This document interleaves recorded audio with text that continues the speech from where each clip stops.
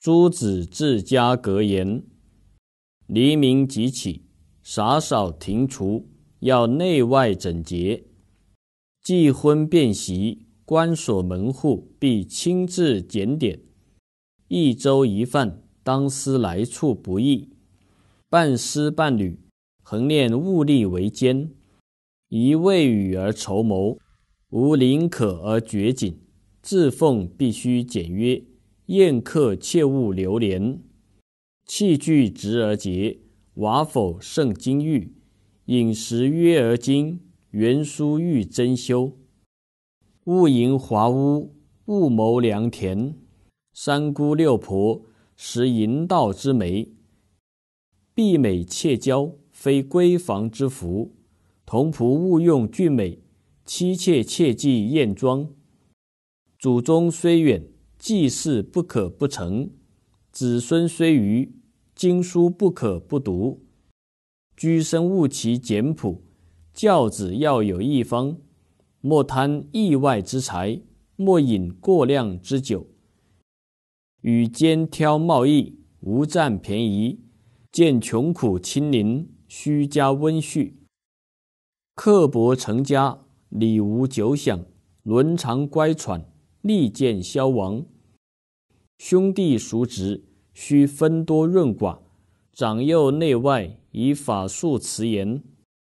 听妇言，乖骨肉，岂是丈夫？重资财，薄父母，不成人子。嫁女则家婿，无所重聘。娶媳求淑女，勿计后怜。见富贵而生产荣者，最可耻。遇贫穷而作骄态者，见莫甚。居家戒争讼，讼则中凶；处事戒多言，言多必失。勿视势利而凌逼孤寡，无贪口腹而自杀生情。乖僻自恃，悔悟必多；颓灰自甘，家道难成。侠逆恶少，久必受其累。屈至老成，急则可相依。倾听发言，安知非人之正数？当忍耐三思。因事相争，焉知非我之不是？须平心暗想。施惠无念，受恩莫忘。凡事当留余地，得意不宜再往。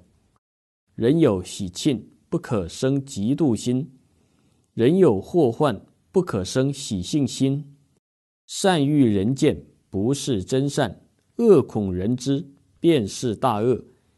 见色而起淫心，暴在妻女；逆怨而用暗箭，祸延子孙。